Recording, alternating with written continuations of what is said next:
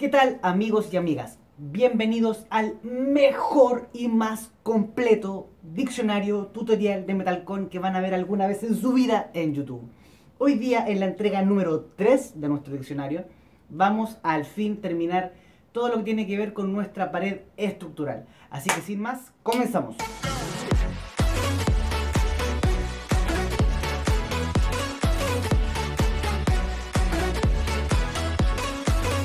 Pasamos a los arriostramientos. ¿Qué es esto? ¿Qué es esta cosa que suena tan raro? No se asusten, es súper simple. Los muros que vayamos construyendo con nuestros pies derechos tienen que ser asegurados, tienen que ser fijados por algún otro ente que me dé esta fuerza estructural para que mi muro soporte toda la fuerza que le pueda llegar de cualquier lado. Para eso tenemos dos formas de hacerlo. La primera, y según mi opinión la más utilizada, es ocupar algún tablero de tipo estructural. Estas placas cumplen dos funciones específicas. La primera es que les da firmeza a esta estructura para que no se vaya de lado y se vaya o para allá o para allá y se nos caiga la casa. Y la segunda es que le da rigidez extra a nuestros perfiles, evitando el pandeo. Y obviamente evitando que colapsen por el peso de la casa, por eso que le da una rigidez extra. Este arrastramiento consta de placas estructurales que en algunos casos puede ser un tablero de terciado estructural de al menos de al menos y según el manual de 12,7 milímetros o sea que el grosor de mi placa esto que yo tengo acá sea de al menos 12,7 en terciado estructural. Pero por otro lado tenemos también el OSB. Y para el OSB se requiere un grosor al menos de 11,1 milímetros. De esta forma nos vamos a asegurar que nuestro tablero estructural quede 100% al menos como me dice el manual de forma estructural. ¿Ok? Finalmente el ensamble entre mi perfil tipo C, estoy dando un ejemplo, y mi tablero estructural es de la siguiente forma, o sea, así de simple, ¿cierto? Pero los tornillos son un poco distintos en este caso, que también lo vamos a ver en, otro episodio. Acá se ocupan tornillos cabeza de trompeta, pero con punta broca. Y la segunda forma que yo le había dicho que, había de arrostrar una estructura era con pletinas. Las pletinas, para quien no la conozca, imagínense como un rollo o una cinta scotch. Yo acá tengo el diámetro, pensemos que esto es como una cinta de scotch. Piensen lo mismo, pero es una lengua, por decirlo de una manera, una pletina, es básicamente una lata no muy gruesa que me permite agarrar los extremos de mi pared. Aparte de ese rollo de pletina, de ese rollo de latas o de acero galvanizado, si quieren verlo, hay otros tipos. Por ejemplo, y depende del país, hay unos que son un recuadro, un cuadrado, ¿ya? Que acá se le llama tipo gusset y que me sirve para construir el extremo de enganche de la pletina que les acabo de hablar. Aquí en la imagen les va a quedar más claro y se lo voy a poner ahora con flechas. Primero ponemos el gusset y después tiramos de extremo a extremo la De esa forma estamos arriostrando con, este, con estas pletinas. Y por último tenemos el ángulo tensor, que como su nombre lo dice, es un ángulo con un agujero al medio, con un perno, que se pone en esta pletina que va de esquina a esquina y que le va a dar la fuerza. O sea, imagínense que hay alguien agarrando la pletina por acá y por acá y le hace así para que la estructura quede totalmente firme. O sea, este conjunto de pletinas hace que nuestra estructura esté más firme.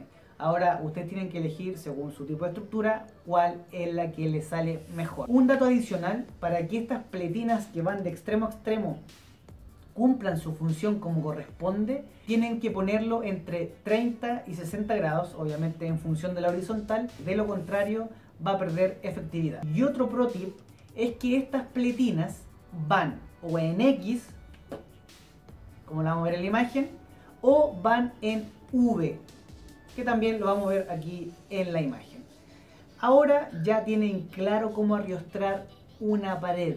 por favor, siempre, siempre háganlo. Es parte de la seguridad, es parte de construir bien. Nos queda finalmente los estabilizadores laterales o bloqueadores de giro o BG, la super sigla. Estos bloqueadores de giro son importantes porque nos permiten evitar el pandeo de los pies derechos. Y yo le contaba adelante que tengo acá, si yo lo quiero mover, en verdad que me cuesta bastante. En cambio, si yo lo quiero hacer en un perfil que no lo tiene, no me va a costar tanto. Pero para complicar un poco más las cosas, según nuestro manual, tenemos dos tipos de estabilizadores. El primero es el VG, ¿cierto? Que es del mismo grosor que nuestro pie derecho, o sea, de 0,85 y por otro lado tenemos el estabilizador lateral o, lo adivinaron, EL. Y este consiste en una franja de nuestra pletina de forma horizontal. Otros tips importantes a la hora de hacer nuestros estabilizadores es que estos VG los vamos a poner como máximo a 3 metros de distancia entre uno y otro. Y después vamos a poner uno al medio dos extremos, uno al medio. Así como en la imagen te lo estoy mostrando en estos momentos, de esa forma se ponen estos estabilizadores. También se recomienda de que el largo del VG tiene que ser mínimo de 50 milímetros. Cabe mencionar que si lo que estamos utilizando son tableros estructurales para darle la rigidez a nuestra pared, no es necesario ocupar el VG o el EL. Por lo tanto, elijan una opción o la otra. Antes de seguir, recuerda suscribirte aquí abajo y activar la campanita para que estés al tanto de cuando lanzo las siguientes versiones del diccionario Metalcore. ¿Ya? Vamos a hacer un pequeño resumen hasta el momento de lo que llevamos visto hasta ahora.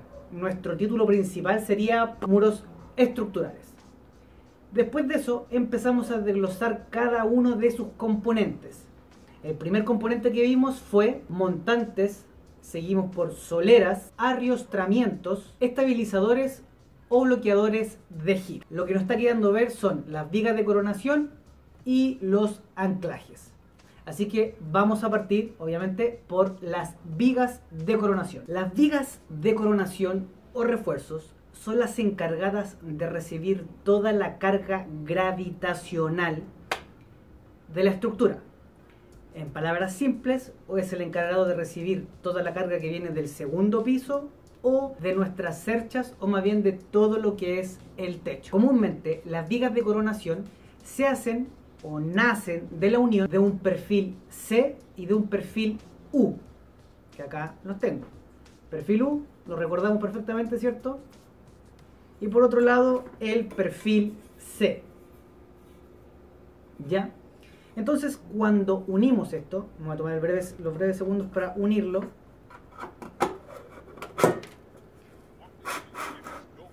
Lo que hacemos es generar esta superestructura que me va a aguantar el peso del techo o del segundo piso. Lo que hay que hacer ahora es fijar estos dos perfiles con tornillos lenteja. Los tornillos se ponen cada 20 centímetros, según la norma. ¿Ok?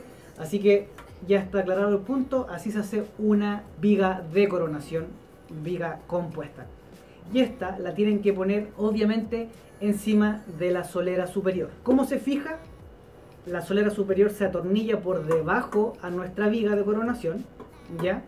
pa, pa, pa, con los mismos tornillos de lentejas que hemos hablado todo el tiempo, de número, eh, número 6 de media pulgada, y por arriba, a, a, las cerchas que vayan llegando a nuestra viga de coronación, tenemos que atornillarla con eh, tornillos de punta de broca, pero hexagonales. Esto lo vamos a ver en detalle en eh, el diccionario Metalcom que va a ir solamente, solamente dispuesto para explicarnos cuáles son las fijaciones de nuestra estructura Metalcom.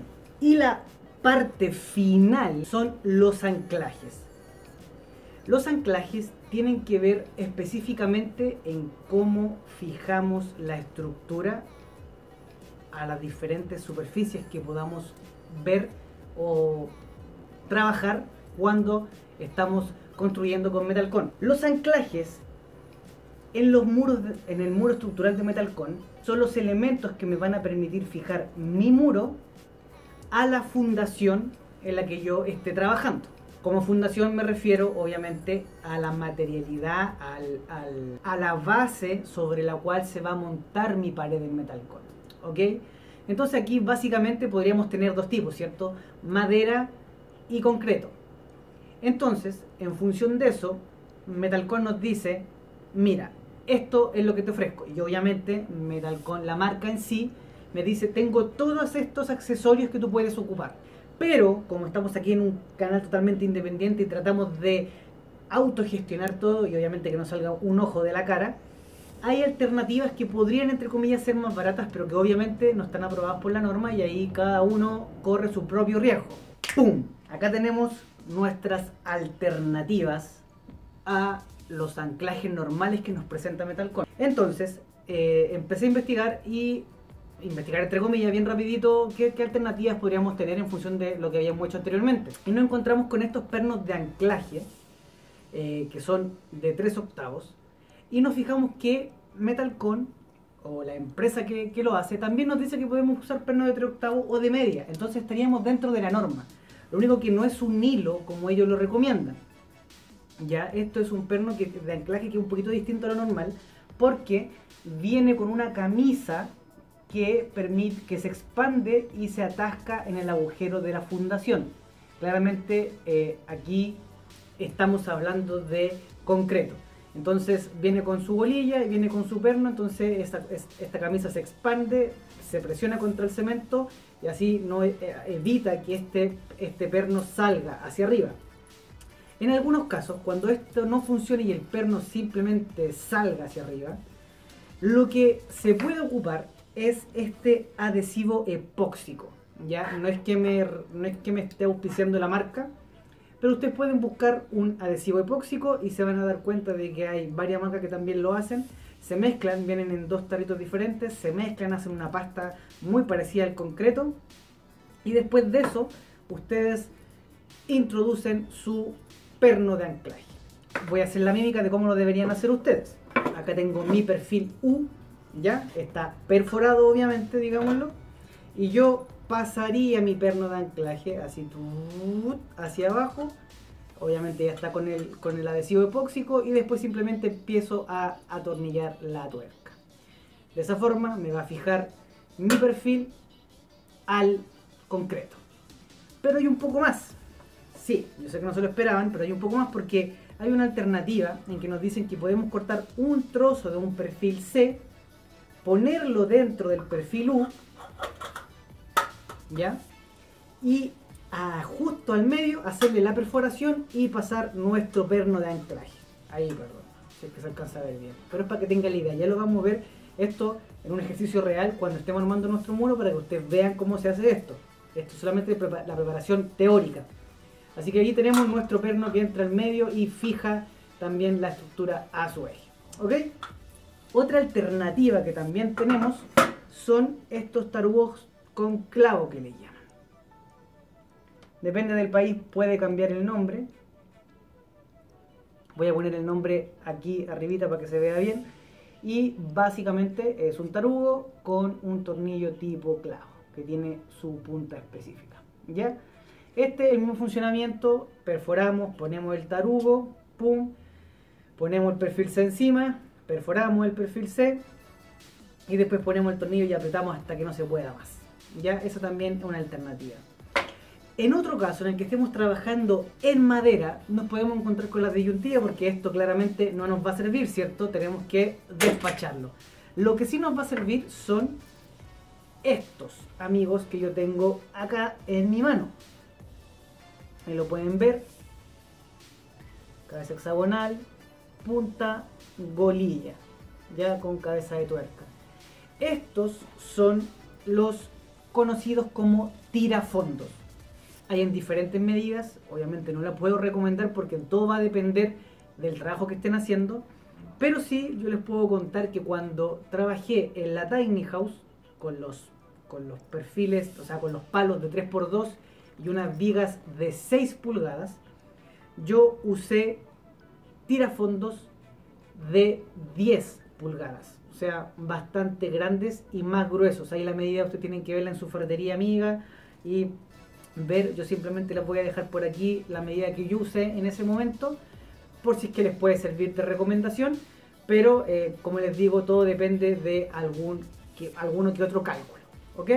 Así que ya hemos visto alternativas a las fijaciones normales que nos ofrece Metalcon. Y con eso recorremos completamente los componentes de el muro estructural en Metalcon. O sea que ya estamos casi graduados y ya podemos empezar a armar nuestra estructura en con este conocimiento que tenemos. Pero te sugiero que me esperes un cacho porque los videos que van a venir en los siguientes días te van a iluminar un poco más acerca de cómo armar la estructura completa del Metalcon y quizás eso te va a preparar mejor para abarcar un proyecto desde cero. Así que por el momento te recomiendo que te suscribas acá abajito para que estés preparado, atento cuando yo lance los siguientes videos. Recuerda activar la campana porque de lo contrario a veces YouTube no nos avisa. Y por último, simplemente me queda agradecerte que hayas visto este video. Te voy a dejar aquí el botón para que te suscribas, así que te voy a esperar un ratito para que mm, mm, te suscribas por acá y te voy a dejar por aquí un video que te podría gustar. Así que sin más compañeros, me despido hasta un próximo video. Chao, chao.